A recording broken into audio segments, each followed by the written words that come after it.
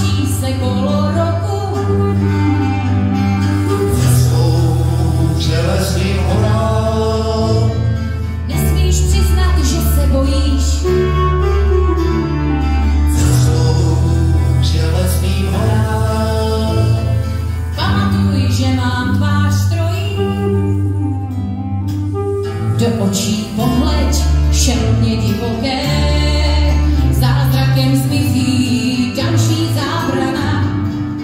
Na tomto místě stál si před rokem, uvěř mi, že jsem začal